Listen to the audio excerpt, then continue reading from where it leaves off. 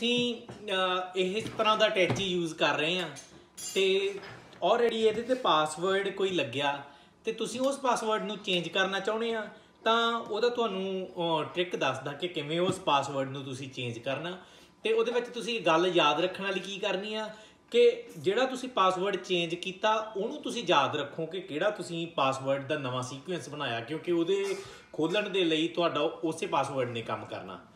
ਤੇ ਔਖਾ ਨਹੀਂ ਕੋਈ ਸੌਖੀ ਚੀਜ਼ ਹੀ ਆ। ਤੇ ਅੱਜ ਉਹ ਮੈਂ ਤੁਹਾਨੂੰ ਦੱਸਦਾ ਕਿ ਕਿਵੇਂ ਕਰਨਾ ਇਹ।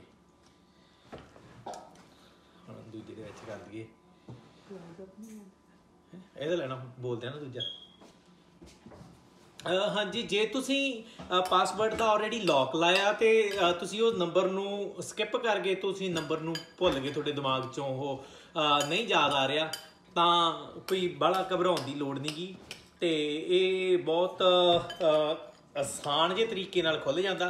ਮੈਂ ਤੁਹਾਨੂੰ ਸ਼ੋਅ ਕਰ ਦੱਸਦਾ ਵੀ ਕਿਵੇਂ ਉਹ ਖੁੱਲਦਾ ਤੇ ਅਹ, ਆਜੋ ਫਿਰ ਇੱਥੇ ਦੇਖਦੇ ਹਾਂ ਕਿਸ ਤਰ੍ਹਾਂ ਖੁੱਲਦਾ ਹੈ। ਹਾਂਜੀ ਪਹਿਲਾਂ ਜਿਹੜਾ ਤੁਹਾਡਾ ਪਾਸਵਰਡ ਆ ਉਹਨੂੰ ਤੁਸੀਂ ਇੱਥੇ ਕਰਨਾ ਜਿਵੇਂ ਸਾਡਾ 00 ਆ ਨਾ।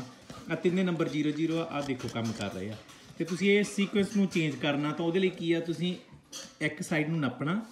ਤੇ ਇੱਥੇ ਸਮਝ ਲਓ ਮੈਂ ਇਹਨੂੰ ਕਰਤਾ ਲਾਈਕ ਕਿੰਨਾ ਕਰਤਾ 9 ਕਰਤਾ ਥੋੜਾ ਥੱਲੇ ਕਰਕੇ ਇੱਥੇ ਦੇਖ, ਇੱਥੇ 9 ਕਰਤਾ 900 ਬਣ ਗਿਆ ਹੁਣ ਇਹਨੂੰ ਛੱਡਤਾ ਤੇ ਇਹਦੇ ਬਾਅਦ ਆ ਦੇਖੋ, ਇੱਥੇ ਕੰਮ ਕਰ ਰਿਹਾ। ਜੇ ਮੈਨੂੰ ਦੁਬਾਰਾ ਬੈਕ 0 ਤੇ ਕਰੂੰਗਾ, ਇਹ ਚੱਲ ਨਹੀਂ ਰਿਹਾ। ਇਹਦਾ ਮਤਲਬ ਜਿਹੜਾ ਆਪਣਾ ਨਵਾਂ ਪਾਸਵਰਡ ਆ, ਉਹ ਸੈੱਟ ਕਰਤਾ।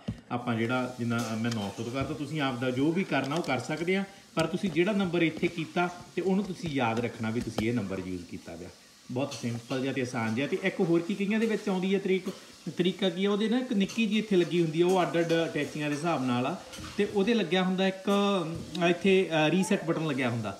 ਤੁਸੀਂ ਰੀਸੈਟ ਕਰਕੇ ਉਹਨੂੰ ਫਿਰ ਆਪਦਾ ਨੰਬਰ ਸੈੱਟ ਕਰ ਲੈਣਾ, ਜਿਹੜਾ ਪਹਿਲਾਂ ਵਾਲਾ ਨੰਬਰ ਭਰ ਕੇ ਫਿਰ ਉਸ ਤੋਂ ਬਾਅਦ ਚ ਜਿਹੜਾ ਨਵਾਂ ਨੰਬਰ ਕਰਨਾ। ਪਰ ਇਹਦਾ ਤਰੀਕਾ ਇਹ ਹੈ ਜਿਹੜਾ ਤੁਹਾਨੂੰ ਹੁਣ ਦੱਸਿਆ। ਠੀਕ ਹੈ ਜੀ? Thank you